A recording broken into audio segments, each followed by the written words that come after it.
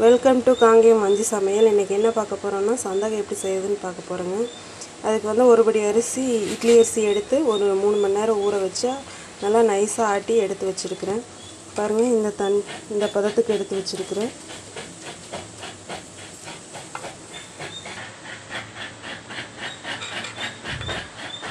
அதை வந்து இட்லி தட்டத்தில் ஊற்றி இட்லி சட்டி தண்ணி கொதிக்குதுங்க. இது வந்து உள்ளே வச்சிடலாங்க.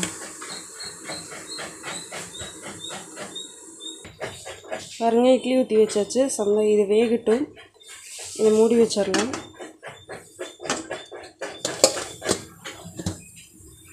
இட்லி வெந்துருச்சு எடுத்துக்கலாம்.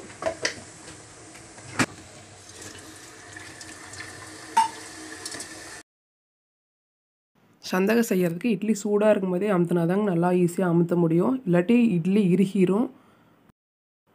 மாவு புளிக்கல இல்லைங்களா?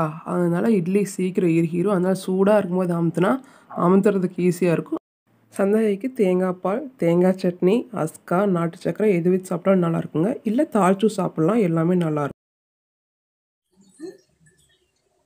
பாருங்கள் இது ஃபுல்லாகிடுச்சு இதை எடுத்து இன்னொரு பாத்திரத்தில் கொட்டிடலாம் இதே மாதிரி எல்லாத்தையும் செஞ்சு எடுத்துக்கலாங்க. சந்தக தாளிக்கிறதுக்கு எடுத்து வச்சுருக்கோங்க. அதுக்கு தேவையான பொருள் வந்து மூணு பெரிய வெங்காயம் எடுத்து எடுத்து கட் பண்ணி வச்சுருக்கிறேன். பொடி பொடியாக கட் பண்ணி வச்சுருக்கேன். பச்சை மிளகாய் கருவேப்பிலை இதுலேயே அரைஞ்சி போட்டிருக்கேங்க.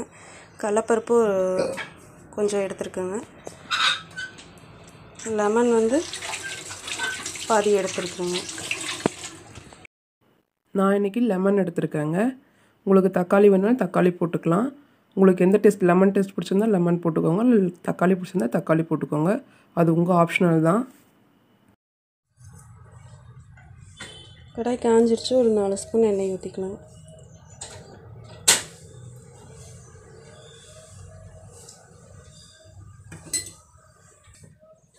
எண்ணெய் காஞ்சிருச்சுங்க கடுகு ஒரு ஸ்பூன் போட்டுக்கலாம். கடலப்பருப்பு போட்டுடலாம்.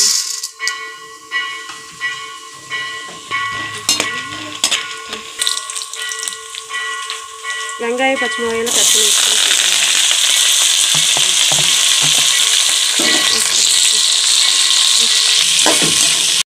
வெங்காயம் வணங்குறதுக்கும் சமையலுக்கும் கொஞ்சம் உப்பு போட்டுக்கலாங்க.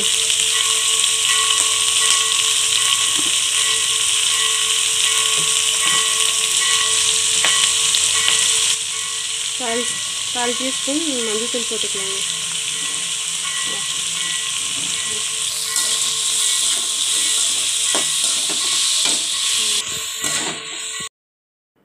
இந்த ஸ்டேஜில் எலுமிச்சம்பழம் புழிஞ்சு விட்டு நல்லா கிளறிக்கோங்க. தக்க வெங்காயம் நல்லா வணங்கிடுச்சு நம்ம சொந்தக்காய் போட்டுக்கலாம்.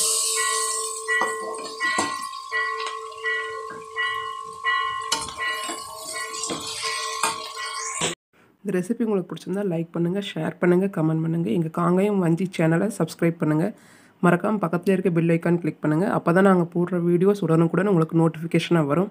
தேங்க்யூ